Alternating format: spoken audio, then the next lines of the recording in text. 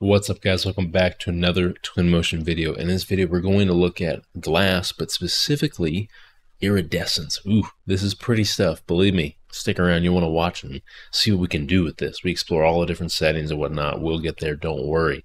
But if at any point in this video you happen to learn something, which I hope you do, please demolish that like button. It really helps me out quite a lot. Okay, getting into it now. So as of Twinmotion 2023.1, we received brand new glass materials. They came with all kinds of different features, and one of them is iridescence. So if you're not familiar what iridescence is, I'll explain it to you as we go along, but it is adding a spectrum of color, or let's call it a gradient of color to glass. And this is not naturally done in life or in the world. It is usually something that requires uh, some sort of a uh, substrate for the light to pass through that's not just the glass in this case it's something else.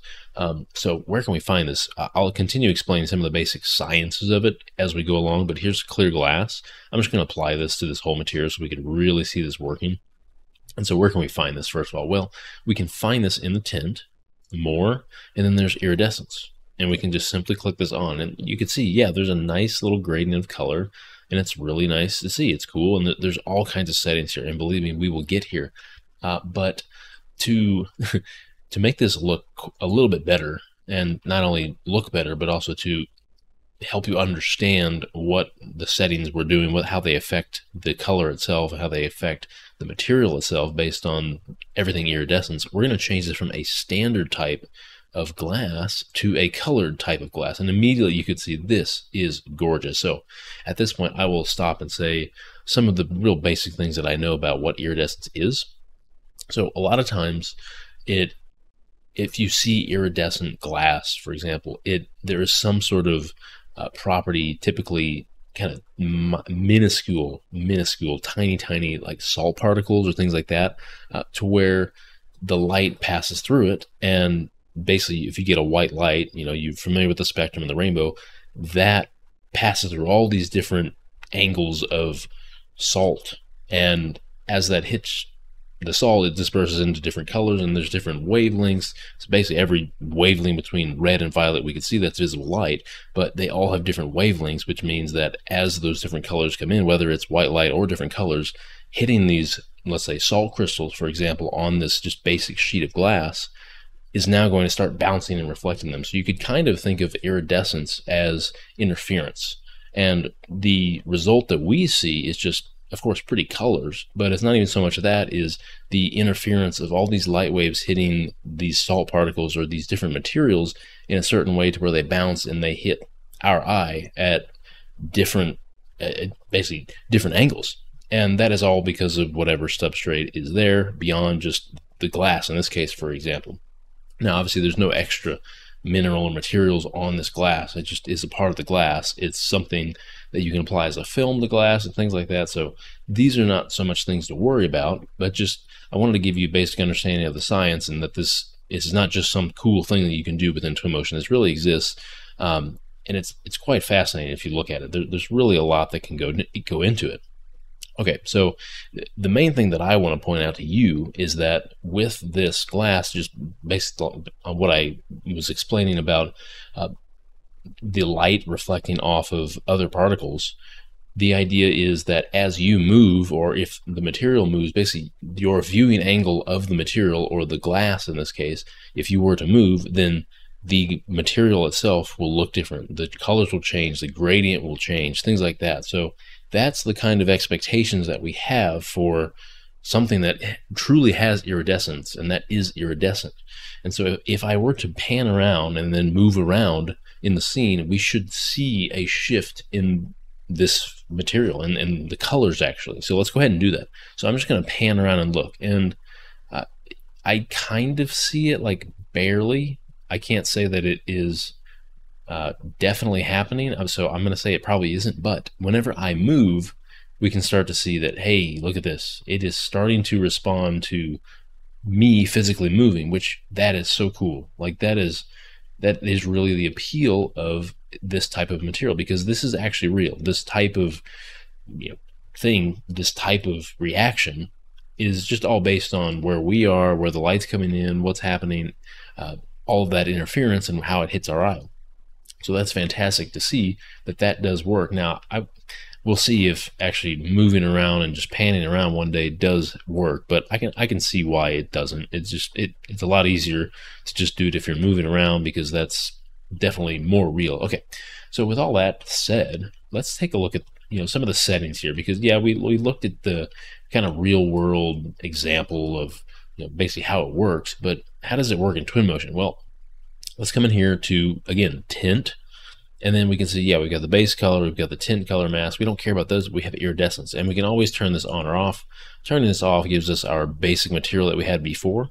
Uh, just know that this is all on top of the other material. So if we're in the clear glass and we affect any other color here, any other uh, material property, it's going to affect the, the material, the rest of the material, and by product, it's going to impact the iridescence. So that's just really something to be aware of.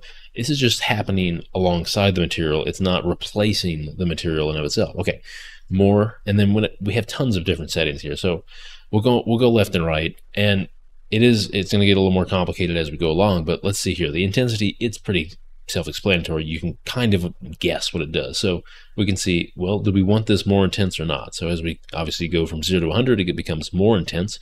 Uh, but at zero, it is as if the iridescence were off. So let's go back to tint. I will turn it off and then nothing happens. And so why is that again? Because the intensity is zero. And so I wouldn't encourage you to put it at zero because it will confuse you or others. And you probably want iridescence if you have iridescence on. Okay, very simple. And for the rest of this tutorial, I probably want to keep this at 100% or close to it so we can really see what is happening because there, there's a lot happening here, as you can see. Okay, and then here, the different types. Th these are these are just predefined gradient maps that Twinmotion has preloaded for us here. And so we can cycle through these and you can see, you know, again, these are things that exist or could exist in the real world in some way, um, but these are just different gradients. So for the sake of this, we'll go back to type 1. We can come in here to more, and this is where if you wanted to add your own gradient map, you would put it right here. Um, I will leave a link in the description to an example just so you can get an idea of like the size and the look. Because um, you're kind of looking for a full range of a gradient but something that uh, goes from one color and back to that color on one gradient. Okay. And then stretch. So if you keep in mind that we're working with a gradient, a gradient that goes from one color, let's say if we're using three colors, is kind of three colors. We have one color here, uh, two, three colors, and then it pans back to color two and then color one. So you have this kind of full cycle. And so the idea is if we stretch, we are going to see portions of that gradient as opposed to the entire gradient. So let's see, let's take this up to 50 and see what happens. Just putting this at 50. Well, this is what I said. So if we put this at 50, imagine you're looking at a gradient, like I said, color one, two, three, and then two, one. So you're kind of circling around. In the center, you have just 50%. And so if we stretch it out to the point where we're only looking at 50%, we're looking at that one color in the middle. And that's that example. So if we stretch this back, we could see, hey, we, we're starting to see at a quarter, we're seeing essentially two colors. And then at 75%, we're seeing basically the same two colors. And then at 100%, we're seeing basically what we saw at zero. It's the exact same. So just that is a real brief description of the stretching. It's just taking that gradient and focusing on little portions of it based on the percentage. So interesting. And then phase. Phase is basically offsetting this. It's, it's shifting the whole thing. And so before we go to phase, actually, I want you to watch the, the preview here as I stretch this. And we can see we can, we're literally losing colors. And then we lose the second color. We get that color back. And then we finally get the third. Okay. Now phase, you'll see that this, it will change, of course, but it's just where the colors appear in, in the gradient. So it's basically just rotating rotating this gradient around itself. And so if we put this phase at 0.5, we can see that we have basically completely inverted. And if we go back to one, we're basically where we were. So zero and one are the exact same. You can see zero, one, zero, one, and then we can just cycle through. And so it's you can see just folding in on itself like that, which is it's just shifting. It's like basically where is zero? Where's the start point? And so it's not so much that there are three colors and two of the colors appear twice. It's that as you phase this around or offset this around, those colors are going to shift. So the second, the third color that shows up in the middle then becomes a second and so on, that type of thing. And then fall off is literally how many colors you see essentially. So it has a range from zero to two, one being halfway. There's probably some more logic to this that I don't understand, but uh, we as we bring the fallout down, you can see we're we basically lose all the colors. We're, we're basically determining, hey, I only want to see one color. So if we start at zero, we have one color, and that is just literally on one end of the spectrum. And then we go up to two, and we see we basically kind of doubled everything. We have essentially doubled the gradient of itself. So we we that whole cycle I talked about is now done twice. So really interesting stuff. And so if I put this at one, we're back to our original. If I look at it at two, we basically have two versions of that there. So I, the most interesting part is if I put this at a fallout of zero, which means I'm just seeing that first color, no matter what. And then I end up stretching this. I'm only seeing one color across the whole gradient the whole time. So I don't know why you'd want to do this because you could achieve this through just the tint of the colored glass that's fine. Um, same with phase. We can just shift this between colors. So having a fall off of zero doesn't necessarily get you anywhere. It just shows you that single color. But it's it's just so interesting the number of things that we can do here, and I really like it just because it's it's here and it's so easy to flip between and some get some really cool looks in really essentially no time. And so I want to keep this type one here, and maybe let's go ahead and duplicate this material and I want to put this one on this little whiskey glass I have here.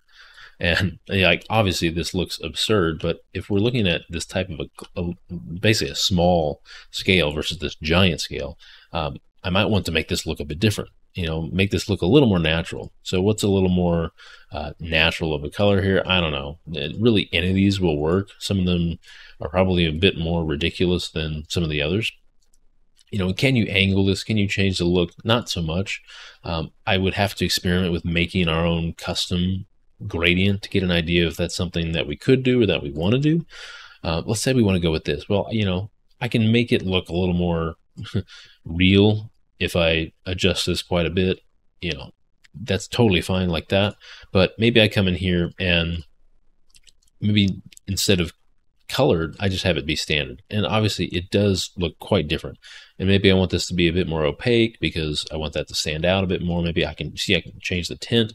This is going to drastically impact some things in some cases, but notice that if you have a tint, it really doesn't impact the iridescence because the iridescence is taking over that tint. So I can come back in here and I can make it more or less intense. Maybe what maybe what I want to do instead of make it a standard is make it a color and then just reduce the intensity. So bringing it down a bit just to make it seem a little more normal, something that you would see in life. And so, yeah, that's so interesting. Something else we can do here, of course, is opa- make change the opacity. Like I said before, the opacity of the material is has nothing to do with the iridescence. It's totally just this is on top of everything else. So I might want to see a fully opaque material uh, versus not, that type of thing. If I want to see through it all or not. So this is so interesting. Uh, obviously, you can do this with any glass, which is so cool. Um, some of these really weird pattern glasses here, like this, um, probably want to change the scale here so we can see this a bit better. Obviously, this is not real at all or real looking, um, but it is nonetheless fun to work with. We come in here to iridescence now go to tint, iridescence on, and it works all the same. It, it's so cool, so interesting. And like I said, maybe this ends up being a colored so we can really see how crazy this is.